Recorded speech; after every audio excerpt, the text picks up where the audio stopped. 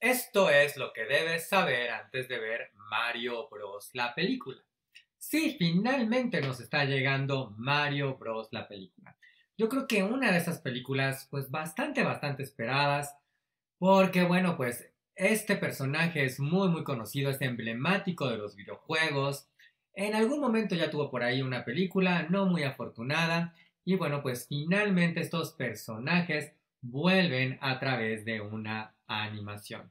Y finalmente, bueno, finalmente, pero importantísimo que en este momento ustedes le den like a este video, lo comenten, lo compartan y se suscriban a este canal.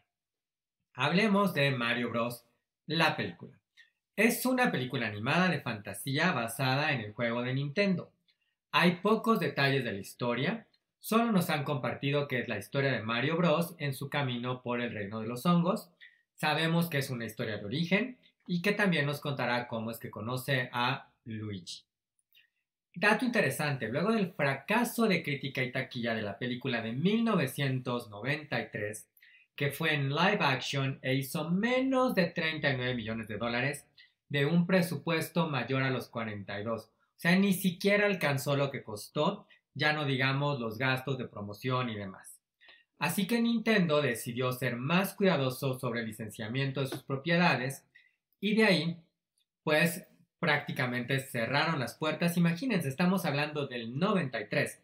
Así que pasaron pues 30 años para que estos personajes regresaran a la pantalla grande. De hecho, el creador del videojuego, Shigeru Miyamoto, declaró que la idea era muy buena, que les interesaba, pero que era muy delicado y que debían de tener mucho cuidado para desarrollar de la manera adecuada a los personajes. En 2014 hubo una filtración, a lo mejor se acuerdan de ello, de varios correos entre ejecutivos de algunos estudios, en especial de Sony. Y entre esos correos, pues estaban algunos que dejaban ver la intención de este estudio por hacerse los derechos de la franquicia Mario Bros. Esos correos daban a entender que ya se había cerrado la negociación y que había planes de al menos cuatro películas. Finalmente eso no sucedió y el contrato se concretaría años después, pero con Universal Studios en coproducción con Nintendo e Illumination. Illumination es ese estudio que ha hecho las películas de los Minions. Los directores seleccionados como tal son Aaron Horvath y Michael Jelenic, responsables de, de las películas de Teen Titans Go. El guion fue pensado para estar más apegado a la serie, pero en una versión cinematográfica y más emocional. Es prácticamente una comedia de aventura y fantasía. Será una historia de origen de Mario y Luigi, como les mencionaba, y los está mostrando o los mostrará como miembros de la clase trabajadora y ubicándolos como plomeros italiano-americanos que trabajan en Brooklyn Justamente si ustedes son fanáticos de los videojuegos, pues los ubica antes de los eventos de Super Mario World 2, Yoshi's Island, que los establece ya como habitantes del reino de hongos o del Mushroom Kingdom.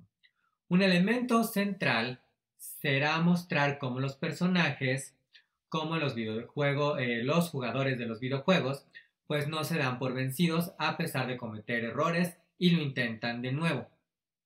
En esta ocasión, la aliada de Mario será la princesa Peach en lugar de Luigi, y esta inspiración viene del videojuego Super Mario Peach 3D World, donde la princesa era un personaje con el cual se podía jugar.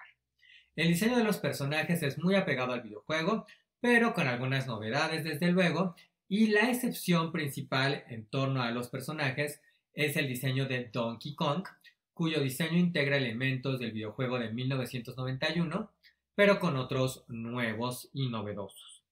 El elenco vocal, por si ustedes tienen oportunidad de verla en inglés, pues corre a cargo de Chris Pratt como Mario, Anya Taylor Joy como la princesa Peach, Charlie Day como Luigi, Jack Black como Bowser, eh, rey de los Koopa, Keegan Michael Key como Toad, un hongo humanoide, y siguiente la princesa, y Seth Rogen como Donkey Kong.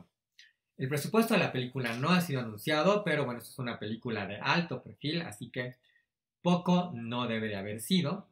Y la intención, pues, es que haya más películas. Aún no se anuncia una segunda o una secuela de esta. Yo creo que eso dependerá de cómo le va y eso podrá suceder muy pronto después de su estreno. Pero también hay rumores de un par de spin-offs. Una de ellas sería Donkey Kong, donde eh, pues Seth Rogen justamente estaría eh, repitiendo su rol al prestarle voz. Y la otra sería Luigi y se llamaría La Mansión de Luigi. La película estrena el 5 de abril en Estados Unidos y el 7 de manera internacional. ¿La van a ver? ¿No la van a ver? ¿Qué les parece? A mí la verdad es que me da curiosidad, me entusiasma esta película. Eh, y bueno, ya la estaremos platicando. Por favor, ustedes váyanme comentando en los comentarios. Suscríbanse a este canal, denle like a este video y compártanlo. Yo los veo muy muy pronto para descubrir qué es lo que hay que saber antes de ver esa película o esa serie que estamos esperando. Hasta pronto.